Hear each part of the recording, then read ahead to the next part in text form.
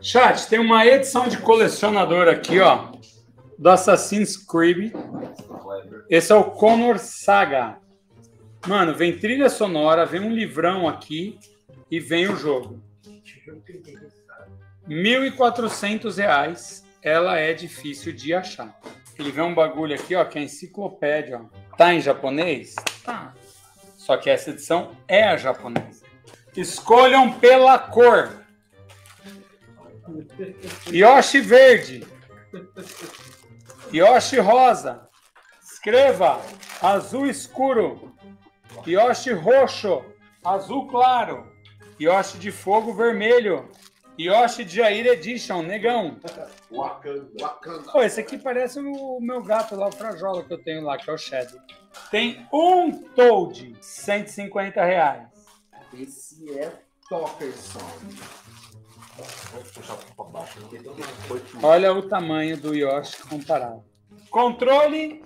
É do Play 4 essa merda? É. 4 é a versão Do Play 4, aquela edição especial. Usado, 400 reais. aniversário. Bomb Sweeper é um Game Watch, 800 reais. Game Boy clássico, sem alteração nenhuma, 450 reais. E tá meio amarelado. Teclado Rock Band do BRKS Edu. Tem que colocar o valor 201,50. Boa, boa, não. Boa, boa, boa. Desafio Pix 900 reais. Quem que pediu o desafio Pix aqui, ó? Vem, Alicast. 900 reais no Pix. Chepa. Geladeira do Xbox. Mano, 1.800 reais, beleza?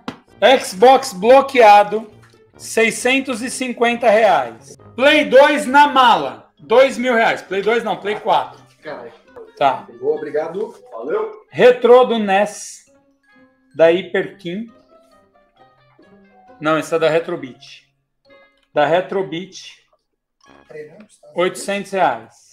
Legend Score da Tectoy, aquele emuladorzinho da Tectoy, 400 reais. Não é possível, velho. Silva. Family Computer, 950 reais. Esse aqui não tem os berços. Berço é onde você acomoda o videogame. 600 reais. Xbox com Kinect, 700 reais. 700 reais. Super Nintendo, 1.200 reais com dois controles e Mario World. OniX, de 2.700, que é o meu preço de etiqueta, que eu comprei caro e já expliquei 10 vezes, 2.200. Wii U, 1.500 reais. Wii U, 1.500 reais. É um Atari 2600S. A caixa é original, não é reprodução. Então, bonita. Não é reprodução. Ó, como não é reprodução, vou provar para vocês agora. Número de série de época. Ó, agora eu vou abrir ele, se liga. Manual, Nossa, mano. assistência autorizada. E aqui, o idiota do tio colou. Peraí. O mais gostoso, tá? O que, que acontece com esse Atari? Ele é cabo embutido, o controle tá preso. Ele é o S. E aqui os botões, ó, não são aquelas alavancas, são botões mesmo. Tá? Você vai ter que ir numa casa de antena comprar um cachimbinho para ligar na antena, porque ele não teve alteração de AV, ele não teve alteração nenhuma. Ele tá literalmente sem qualquer tipo de alteração. Por isso que eu falei que é para colecionador exigente. Por quê? Porque é sem alteração. E o legal, eu vou pegar aqui depois os caras arrumam, tá? ó, Rapidinho. Ó. 75363A2. Aqui, ó. E, e compra o cachimbinho e você encaixa na, naquela entrada de TV a cabo. Da TV, das TVs atuais. Serial batendo, beleza? Ou seja, zero.